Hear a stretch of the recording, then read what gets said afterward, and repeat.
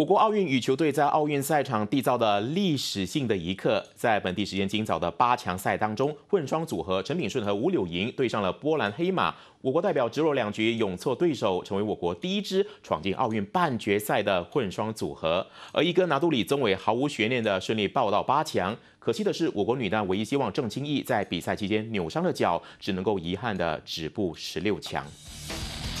我国羽球队在奥运赛越发越勇，在我国时间今早上演的奥运混双八强赛中，陈炳顺和吴柳莹奋战四十六分钟后，以二十一比十七、二十一比十击退世界排名第十三的波兰组合，成功报到半决赛，距离夺奖目标只有一步之遥。陈吴混双接下来将对上上届银牌得主中国的徐晨和马竞。而男单一哥李宗伟在 A 组收官战不费吹灰之力，三十五分钟内以二十一比十八、二十一比八力克新加坡好手黄子良。李宗伟下一轮对手将是台湾周天成和香港吴晕战役的胜利者。有人欢喜有人忧，我国女单一姐郑清义在 K 组最后一战不小心扭伤脚，虽然最终以十八比二十一、五比二十一败给日本的山口茜，但是她的拼搏精神博得满堂彩。尽管如此。手下那集通过推特赞扬郑清义永不放弃、勇于搏斗的体育精